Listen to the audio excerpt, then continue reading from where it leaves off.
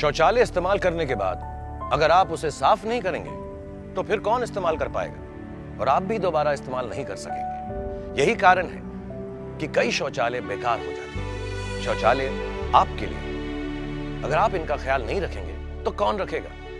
कैसे बनेगा भारत स्वच्छ? इस्तेमाल के बाद फर्श और टॉयलेट सीट दोनों साफ़ करें। स्वच्छ सर्वेक्षण 2018 में अपने शहर को नंबर वन बनाएँ। आवासन और शहरी कार्य मंत्रालय द्वारा जनहित में जारी।